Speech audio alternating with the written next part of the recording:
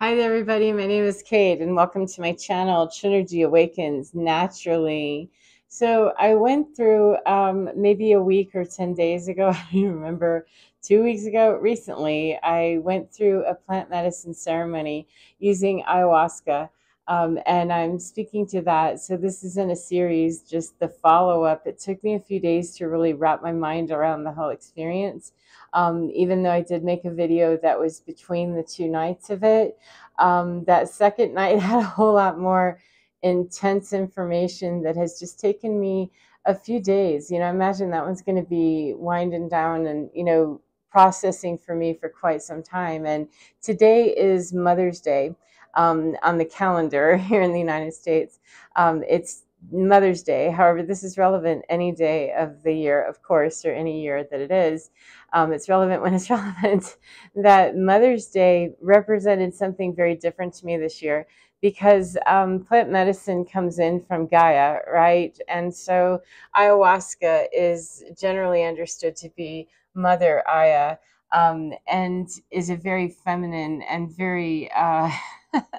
stern medicine, but very kind medicine, very beautiful, compassionate, loving. It's she's a, a very um, skilled teacher, um, not unkind at all. There's nothing in the divine that is unkind. Um, it just can be really harsh to have to face the facts of what has happened in our lives, what has been done to us, and what we've done to other people, acting out of that old world wounding that is um, really coming up for a lot of people, you know. Um, and today, uh, Mother's Day, you know, um, this has a different meaning for me you know, as a mother, as having a mother, you know, um, that there was a lot of wounding in the the mother area, both as one and as having a mother. And so, you know, I realized today that though I can't really say that I understand everything about, you know, my whole history and what all of that was, I did experience something today with Mother Aya and Kuan Yin, you know, the Blessed Mother Mary,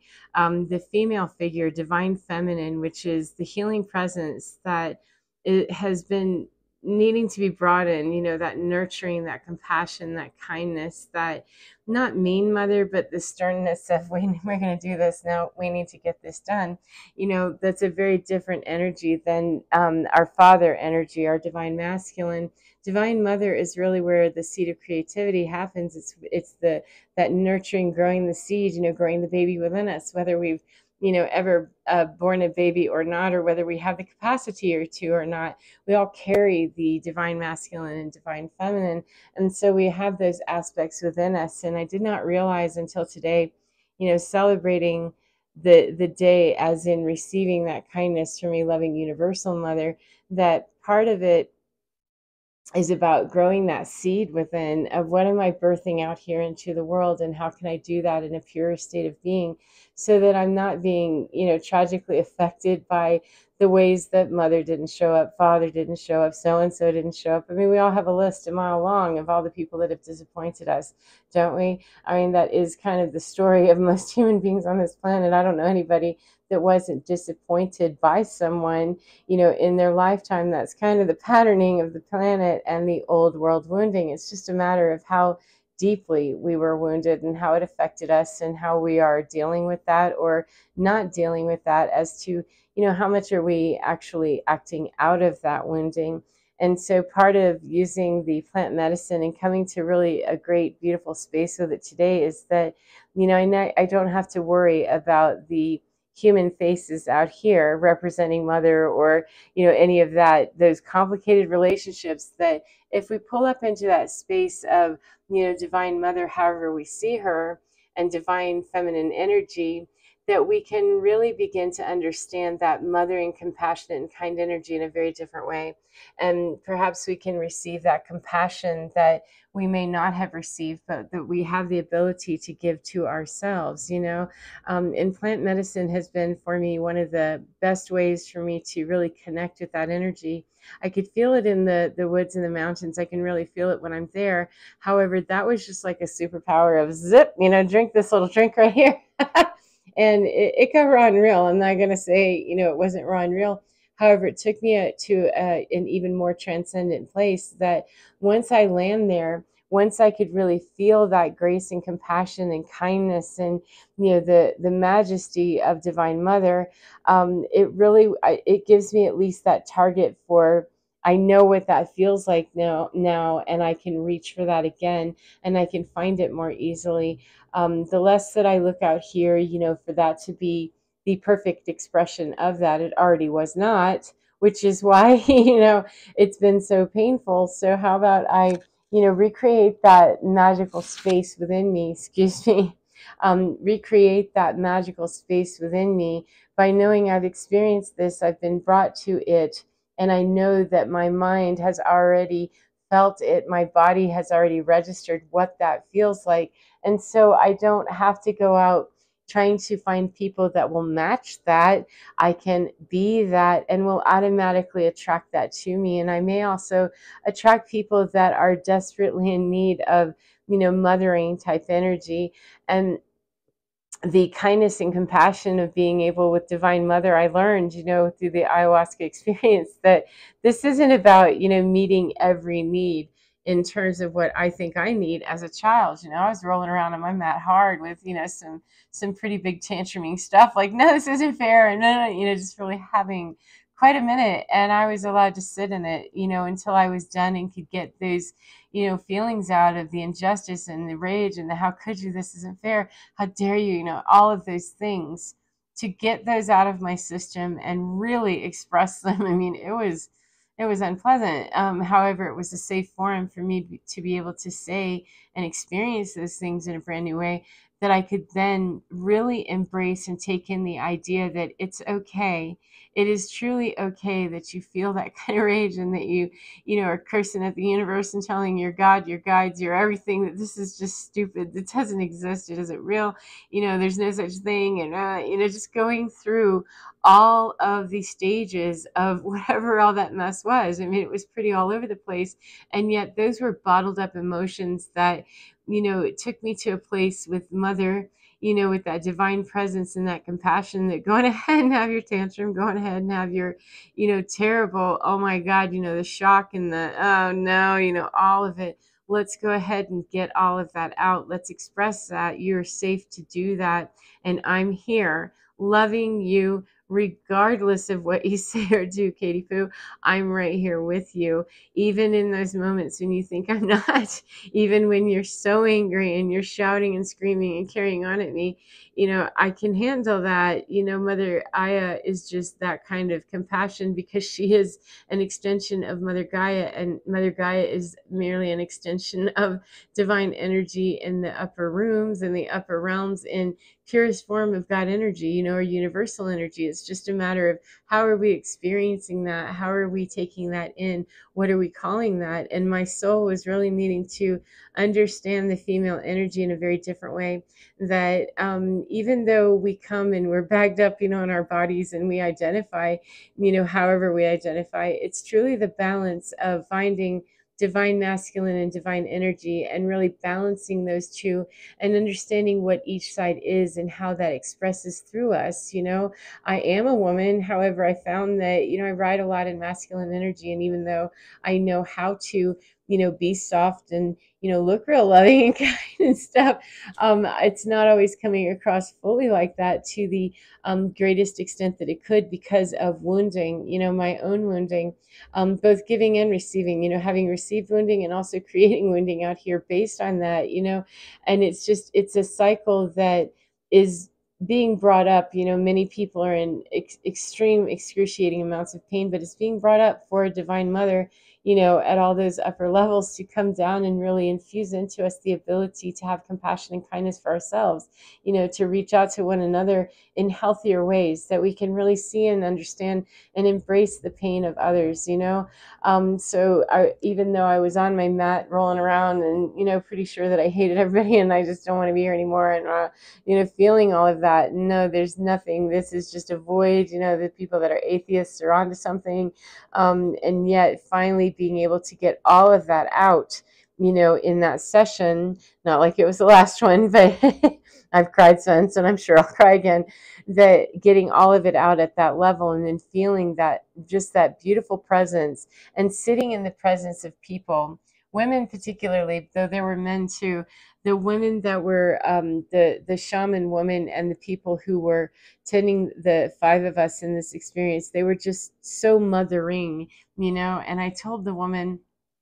she was looking me in my face, and I realized I feel a little bit uncomfortable with this. You know, I'm used to it being the conversation being a certain way and i feel very vulnerable and you know i'm feeling really vulnerable in a whole new way of vulnerability that i don't know that i really like this. And you know she was touching my face and really just caressing my face and saying you know it's you're really it's okay you're beautiful all of these things. And i realized you know as i was talking to her that i understand how to be a comforting mother you know or a compassionate kind you know person how to provide that. However, I kind of suck at how that is to receive that and know that it's really okay to receive that as well as to give that, and that you're going to give it more purely and more holistically now that you understand both sides of that and see where the deficit was falling and not being able to really show up you know the whole way in my masculine or my feminine in a, a very pure way you know? And these women were fabulous. I told the the shaman woman um the medicine woman that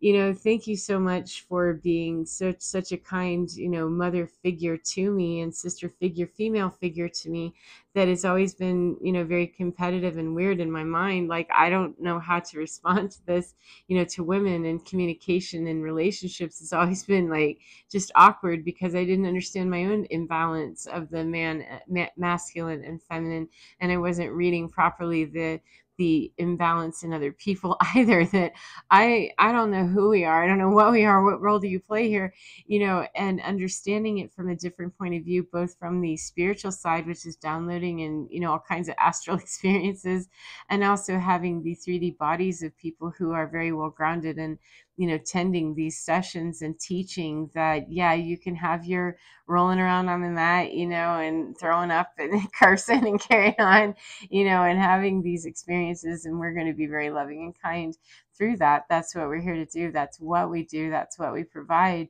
you know for you and with you is because we need this too you know? So this is a community of people that better fit my needs and i i really you know I, I understood it better that it's so so healing we get when we get into the tribes where we you know truly are with our soul tribe our soul vibe the people that really truly can allow us to stand in whatever we are in and witness that without giving us shade without throwing you know stank our direction or looking at us weird or saying you know this that nobody tried to convince me that i was wrong. Nobody told me i was being blasphemous or hateful or anything. Nobody said you know well you should be grateful nothing. They allowed me to have my experience, to witness it, to witness the extreme pain. You know, that takes a true warrior to look at another person's pain and see them wallowing around in that and know the horrific stuff that, you know, people go through witness that and not take on any of that baggage and also not hop in on you know trying to stop that from happening to allow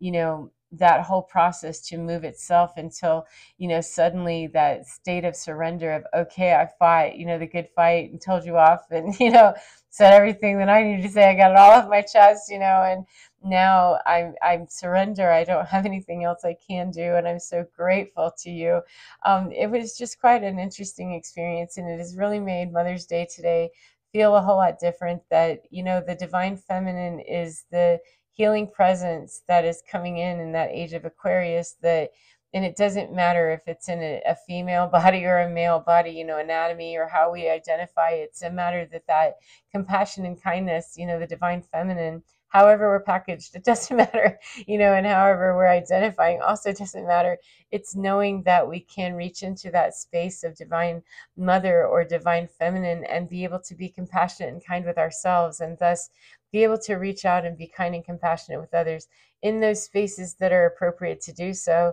you know and know the boundaries. And it's it's a lifelong journey for most of us to figure out where we are in that process. But man um, it, i would highly recommend to anybody you know that plant medicine is not something to be poo-pooed. It's also not something to be avoided necessarily. It's a very powerful process that has taken me um, probably about two years to really be able to work myself up to being able to withstand what I was going to need to look at in the ayahuasca um, ceremony itself, you know, and using some other psychedelics in a different way, you know, in other times of my life because it does bring bring me to my knees. It has brought me to my knees, and I'm just so grateful this Mother's Day that, you know, um, Mother's Day was representing something very different in a very spiritual um, foundation that's being built within me that it's okay for you to identify your own spiritual nature and your divine feminine and to play with that a little bit more and understand that better and to you know you, you can let your divine masculine sit down for a minute and allow that comfort and that compassion to come in and really understand from the perspective of a very wounded and injured child that every single human being wants to be loved on they want to be rocked they want to be soothed you know they wanted to have had that experience with their parents and particularly the mother bond they wanted to have had that if they didn't and many of us just didn't because our parents didn't receive that and so it's very difficult to give something that we have no idea what it is if we've not received it you know it's not necessarily instinctive for people to be, you know, doting and compassionate and all of that, even if we are mothers. So, a great deal of forgiveness for self and for, you know, the mother figures in my life and the women in my life that, you know, where would we have learned this? If we were learning something that wasn't that, then we were learning that, you know, and where would we have picked that up and how would we be able to reach in and really embrace and understand the vulnerability and be tender with that if we haven't been able to really reach in and deal with um, our own child within our own wounded selves you know if we haven't been able to reach that it's going to be really you know not impossible but it's going to make it really difficult to know how to reach out and, and touch other people as well including the children you know whether we have children or not we are all children to the universe we're all children of the universe and um, any place that's wounded in us that we haven't addressed unfortunately it can make us act a little bit out of turn, a whole lot of out of, out of turn, you know, sometimes depending on the wounding and how long it's been suppressed. But, you know, it was just, it was such a beautiful reminder of that experience. And Aya's going to be teaching me, Mother Aya is going to be teaching me for a very long time, I feel certain. Um, and I'm so happy, you know, when people want to know more about it because um, plant medicines are very powerful and they are full of um, divine mother and gaia energy that just it it speaks and resonates so beautifully to all the parts you know of us as human beings no matter how we identify to the wounded parts period. You know she steps in and says I see you, you know, come as you are and throw yourself on the floor and throw up and, you know, fart, burp, do what you need to do, scream, you know, be you, be every essence of you so that when you can get all of that out, when you have purged all of that out and you're ready, then I am here to help fill you up with what is the truth of you, no matter what those messy little humans have been doing,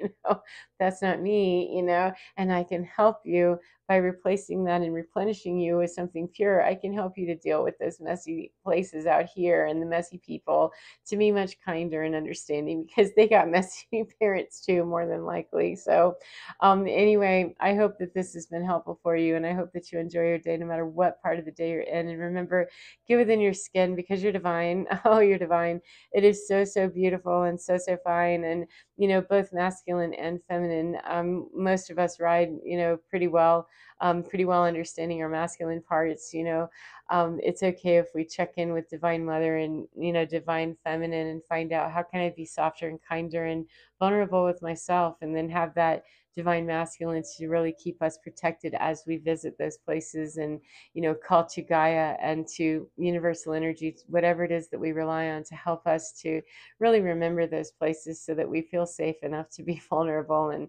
open up and heal the wounding of the old world. You know we're into new earth now. So anyway as i said get within your skin because you're divine. It is so so beautiful so so gorgeous and so totally fine Take care of your beautiful selves, and I will see you again next time. Goodbye, my friends.